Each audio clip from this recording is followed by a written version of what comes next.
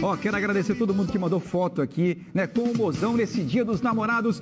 Alô, Bruna Borges está chegando com o Mulher Demais. Tô por aqui, tô chegando com um programa super especial, viu, João? Casou tô recentemente. no clima já, é... Casou recentemente, mas Posso ainda... ser chamada de recém-casada ainda? Pode ser. Posso mas, ser, a- então. mas vai ser namorada eternamente. viu? É, ótimo. Vai ser. Ai, adorei a música, Rafa, Ó. pra gente começar bem essa manhã de quarta-feira. Que coisinha mais romântica, que fofura, né? Vamos, vamos. Toca o Mulher Demais daí, Bruninha. Uma ótima Valeu, quarta. João. Tchau, gente. Ótimo dia. Valeu. E por aqui, então, a gente segue com informação, leveza, responsabilidade.